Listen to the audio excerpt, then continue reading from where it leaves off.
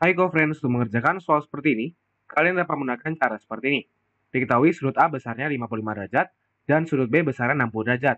Tentukanlah besar sudut C. Nah, di sini, jika sudut A ditambah dengan sudut B dan ditambah dengan sudut C, akan membentuk 180 derajat, yaitu total sudut dari segitiga BT. Maka, sudut A yaitu 55 derajat, ditambah sudut B yaitu 60 derajat, ditambah sudut C yang kita cari, sama dengan 180 derajat. Sudut C sama dengan 180 derajat dikurang 115 derajat. Maka sudut C kita dapatkan yaitu 65 derajat. Baiklah, sampai bertemu di pertanyaan selanjutnya.